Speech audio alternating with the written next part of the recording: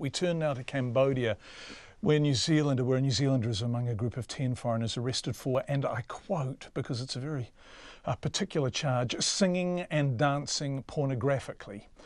In recent years, there's been uh, growing outrage and police crackdown on tourists behaving inappropriately at the Angkor Temple complex and at other sites of great culture, cultural and religious significance in Cambodia. But this was a private party in a rented villa. The photos provided by police of the alleged activities also appear to show a group which does not include any of the 10 people who were arrested, which is peculiar. The New Zealander is 32 year old Paul Martin Brasch. His mum, Vicky Malden, told us he loves Cambodia and is culturally sensitive and highly respectful of, respectful of the country and its people. I asked her when she last spoke to her son. The last call I had from Paul was at 12:58 twelve fifty eight. Well, that's uh, nearly one o'clock in the morning, New Zealand time this morning. And how was he sounding? Uh, he was pretty inconsolable. I mean, he, he's he's a real. I mean, he can be a bit of a rebel, I suppose, but he's he's just a he's just a guy.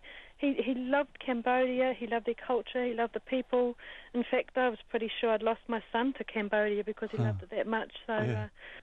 Uh, um, he he's just devastated. He can't believe what's happening.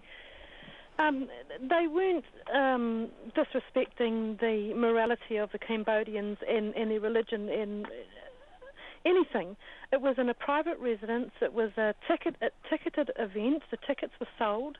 There were about 80 to 100 uh, yeah. tickets sold for the event. It was a type of pool party. Um, my son at the time before the, uh, what happened was the, they call them the morality police. They they actually came in about thirty odd of them and came and just pretty much picked ten out of the bunch. Well, they, originally they, they arrested about seventy or eighty of them, and then ten was just handpicked out of the bunch. So. Um, at, the, at that time, my son was cooking sausages and steak on the barbecue, so um, it's kind of weird the whole situation. Yeah, it, it, we're trying to just make sense of it. Where is he being detained? Where are they keeping them? Um, well, they originally were detained for nearly three days at the Cambodia police station. They pretty much slept on the floor. Um, the police were very good to them. They gave them pizzas. They treated them well. They can't say that they weren't treated. They were treated badly. They um, and now last night, when the last time I was, I spoke to my son before his phone was taken from him. In fact, all the phones were taken. Was uh, just about one o'clock in the morning, and then they were on their way to the Siem Reap jail, all ten of them. I, I assume that the young ladies were taken to the female. I, I just don't know, John. I have no idea. So here. And you're just desperate yeah. to have them back.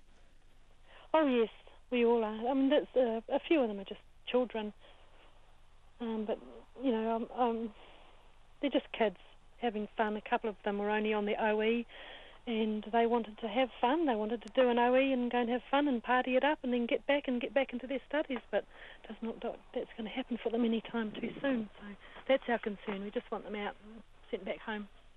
Are you are you going to head over? Um, depending on the outcome in the next couple of days, John, um, that will be something that we are looking at. Yeah. Yeah. Yeah. There's not a lot we can do at this stage. The Cambodians might um, I don't know, they might do they might do something. They may deport them back to their countries, their respective countries. Who knows? We're hoping that they will. But if um, this goes on for for longer than we thought, yeah, a few of us are going to go over there. It's Vicky Malden, the mother of the New Zealander being held in custody in Cambodia after a party at a private residence.